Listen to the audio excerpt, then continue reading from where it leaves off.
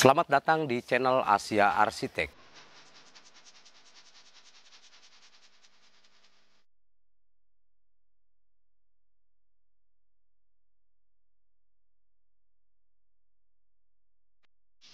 Halo pemirsa, selamat berjumpa kembali dengan saya Henda Iskandar selaku pengawas proyek Asia Arsitek. Pada kesempatan kali ini saya sedang berada di daerah Depok, tepatnya di Jalan Haji Koja, Kecamatan Kukusan, Kabupaten Depok, Jawa Barat. Seperti yang Anda lihat di belakang saya, ada sebuah bangunan. Bangunan ini merupakan kos-kosan tiga setengah lantai dengan konsep minimalis. Pemiliknya adalah Ibu Lucy. Bangunan ini berdiri di atas lahan seluas 589 meter persegi dengan lebar tanah 19 meter dan panjang tanah ke belakang 31 meter. Dengan luas bangunan 1636 meter persegi dari ketinggian tiga setengah lantai. Untuk lantai satu memiliki luas bangunan 535 meter persegi, lantai dua memiliki luas bangunan 486 per meter persegi, dan lantai 3 memiliki 479 meter persegi, lantai atap memiliki luas bangunan 136 meter persegi. Nah, pemirsa, sebelum kami lanjut ke videonya, terlebih dahulu saya akan mengajak Anda yang belum bergabung. Silahkan Anda like, komen, share, subscribe. Lalu bunyikan lonceng notifikasinya untuk memudahkan Anda mengakses video-video kami berikutnya. Bagi Anda yang sudah bergabung, saya ucapkan terima kasih sudah mengikuti channel YouTube kami. Semoga yang kami sampaikan bermanfaat bagi Anda semua. Bagi Anda yang belum sempat menonton video-video kami lainnya, silahkan Anda cek di kotak deskripsi di bawah ini atau Anda klik pada tombol bagian kanan atas.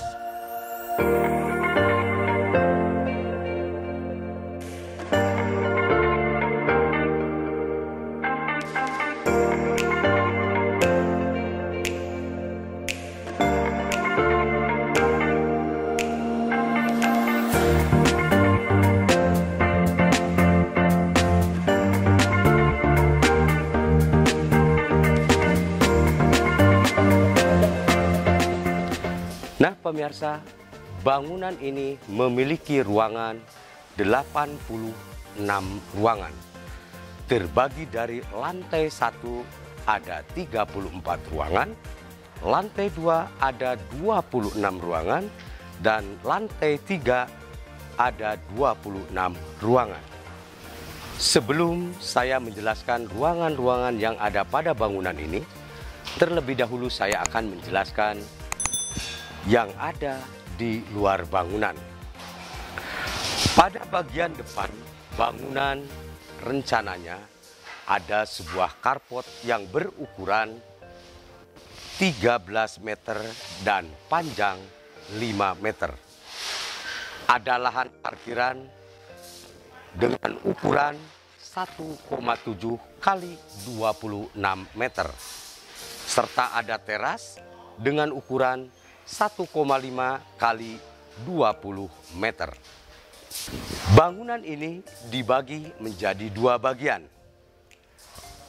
Bangunan satu dan bangunan dua.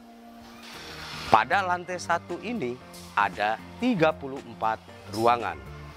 Ruangan yang ada pada bagian lantai satu di antaranya yang pertama ruang jaga, kamar mandi ruang jaga, ruang tamu, ruang CCTV, ruang ART, dapur, kamar mandi, area servis, selasar, dan yang kesembilan ada 10 kamar tidur yang dilengkapi dengan kamar mandi di dalamnya. Ruangan pada bangunan dua, lantai satu, di antaranya yang pertama ada 11 kamar tidur yang dilengkapi dengan kamar mandi di dalamnya. Yang kedua, selasar, ruang CCTV, ruang ART, dapur, dan yang keenam, kamar mandi umum. Pada bagian depan lantai dua rencananya ada balkon. Di bagian dalam bangunan lantai dua terdapat 26 ruangan. Terbagi dari bangunan satu 13 ruangan dan bangunan dua 13 ruangan. Masing-masing ruangan yang ada pada lantai dua di antaranya. Satu, ada 12 kamar tidur yang dilengkapi dengan kamar mandi di dalamnya. Yang kedua, ada selasar. Pada bagian depan lantai tiga rencananya ada balkon yang berukuran 4 kali 1 meter.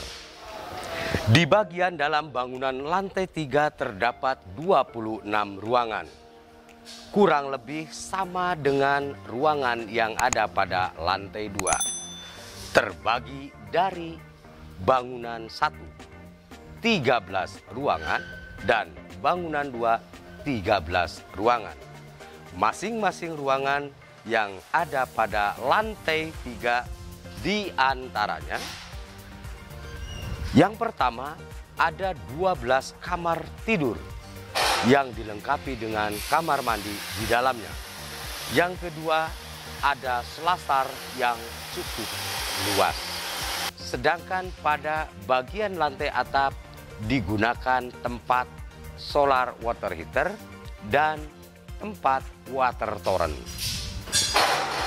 Jumlah keseluruhan ruangan yang ada pada bangunan ini adalah 86 ruangan.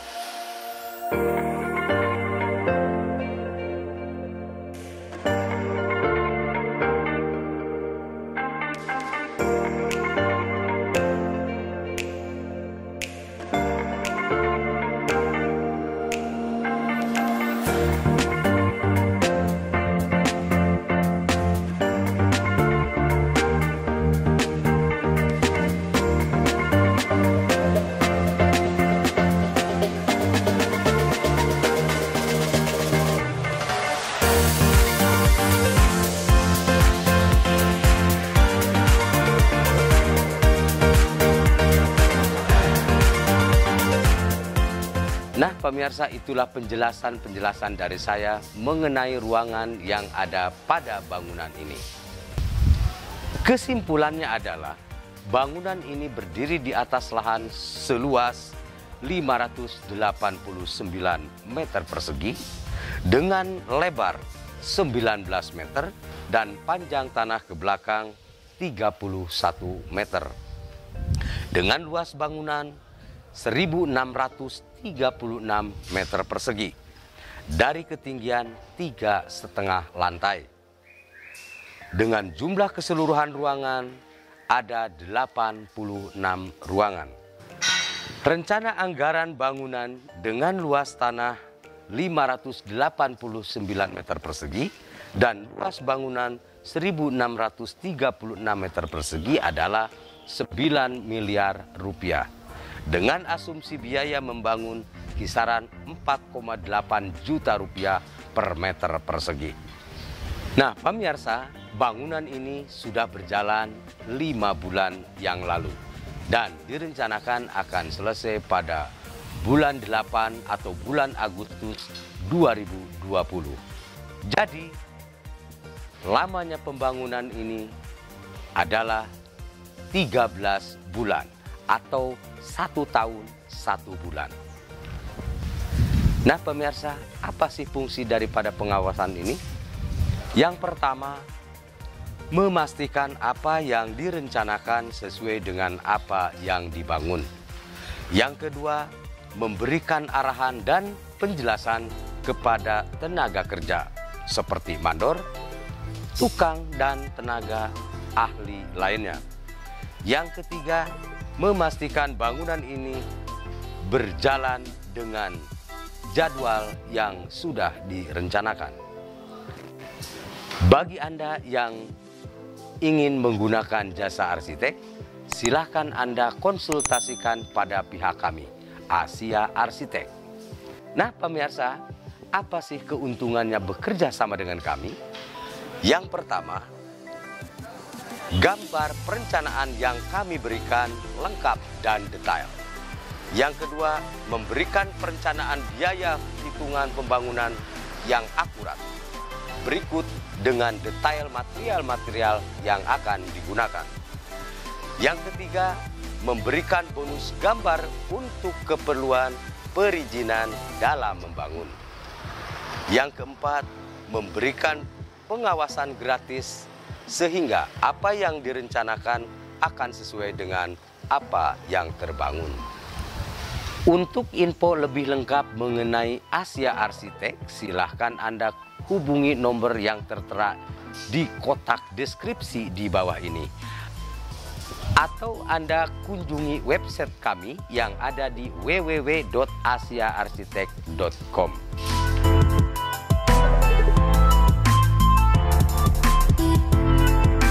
Sebelum mengakhiri video ini, kami akan mengingatkan kembali kepada Anda, ikuti terus video channel YouTube kami.